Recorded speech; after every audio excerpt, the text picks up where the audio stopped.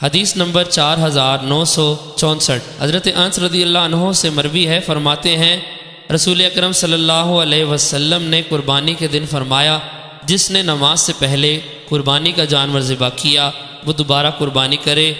एक शख्स ने खड़े होकर अर्ज़ किया, या रसूलल्लाह, उस दिन गोश्त की ख्वाहिश होती है। और उसने अपने पड़ोसी की हाजत का भी ज़िक्र किया। गोया, नबी अकरम सल्लल्लाहु अलैहि ने उसकी तस्दीक की। उसने कहा मेरे पास बकरी का छः माह का बच्चा है, जो मुझे दो बकरियों के गोश्त से ज़्यादा पसंद है। क्या मैं उसे ज़िबा कर दूँ? रावी फरमाते हैं, रसूल अकरम सल्लल्लाहु वसल्लम ने उसे इजाज़त दे दी। फरमाते हैं, रावी कहते हैं, मुझे मालूम नहीं कि ये इजाज़त उनके सिवा किसी को शामिल है या नहीं।